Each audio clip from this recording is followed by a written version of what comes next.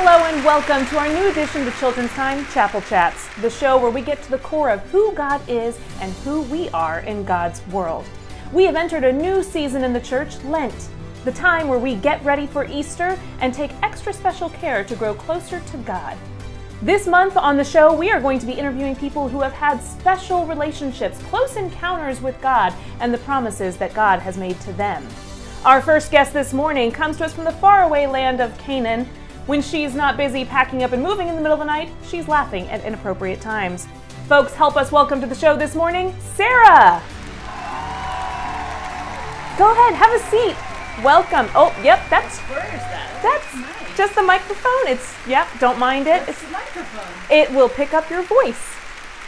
Yeah, we're so excited to have you this morning, Sarah. Thank you for joining us. Thanks. I don't know what's going on, but I'm glad to be here.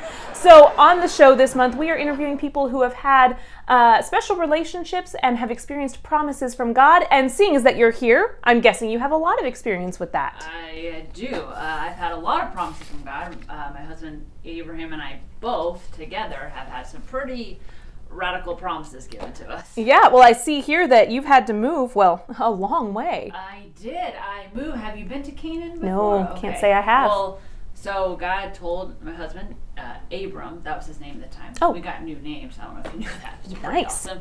And uh, so we had to go to Canaan, which I was like, I don't know where Canaan is. But I was like, okay, I guess we're going. So we packed up in the middle of the night and we moved and left everything and everyone we knew and to fulfill this promise of being a great nation and That must have taken a lot of trust and faith in God. Uh, it did, and yeah, and yeah, a lot of patience, and of course, I had to pack up everything because I mean, is Abraham gonna do it? I mean, husbands, am Yeah. I right? you're right. I mean, I'm like, just pack it right. The pottery's gonna break. Put the sheep fur in, you know, and anyway. So, but a lot of trust in God, for sure. yeah. Well, tell me about some of these promises that God made to you. Okay, so obviously the big thing was moving to this new place that we didn't know anything about. Um, but God's big thing was okay, so you're gonna have all these descendants. Uh, he took Abram out and said, "Okay, look at the stars. Do you guys have stars here?" We do. There's a lot of light pollution, so you can't really see them, but we do have stars. Mhm. Okay, so if you were to go someplace where you could see the stars, there's a lot of them. Like you literally can't count them all. And God was like, "You're gonna have descendants more than the stars in the sky." Which I'm like, "Well, that sounds great, but Yeah. there's a little problem. We don't have a kid, so Well- how's that gonna happen?" I mean, you're you're young. You can you can have children. Well, thanks. I know I look pretty good for my age, but um, I'm actually 90.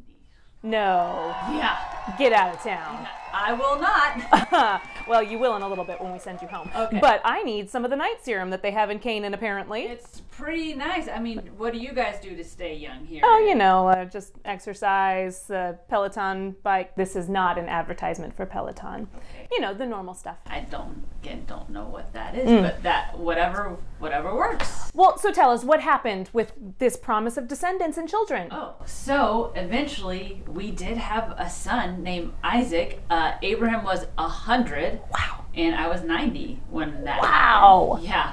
That is amazing. Yeah, uh, it was a little tiring. Just Uh, so you know, I'm actually really still tired. I, I can imagine. I have three of my own, so. Okay. mm. Yeah. Well, so Sarah, uh, tell us, in your experience with God and the promises that God has made to you, what um, words of wisdom do you have about who God is? Well, uh, really, God is really faithful. God keeps God's promises uh, always. It may take a while, but God's promises uh, are something we you can trust in. That is wonderful. Thank you so much, Sarah, for joining us this morning. Folks, stay tuned in the weeks to come as we interview more people who have had relationships and experienced promises from God. Sarah, would you like to sign us off today? I don't know what that means. Oh, I'm sorry. I should have prepared you for this. Um, tell them, say, uh, God is with you everywhere you go. God is with you wherever you go, Mm-hmm. including Canaan. Correct? And then that right there. That. I, I can't read. Oh, sorry. Uh, you're a beloved child of God. Okay, you are a beloved child of God. Thank you, Sarah. Folks, we will see you next week.